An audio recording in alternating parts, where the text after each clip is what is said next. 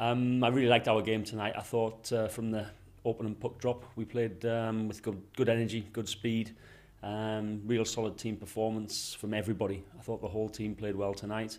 Good first period and second period, very good. I thought we handled that well, and then the third period again finished the game out. But uh, yeah, real.